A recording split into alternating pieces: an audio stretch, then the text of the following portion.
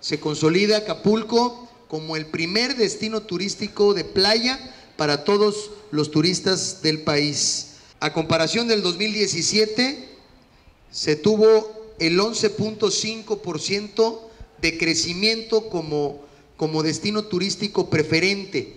Eh, la ocupación hotelera tuvo un porcentaje del 68% promedio. Estamos en el rango del porcentaje promedio alcanzando picos hasta del 93, 94% los fines de semana. Que rebasamos la expectativa en derrama económica y una creciente de arriba del 14%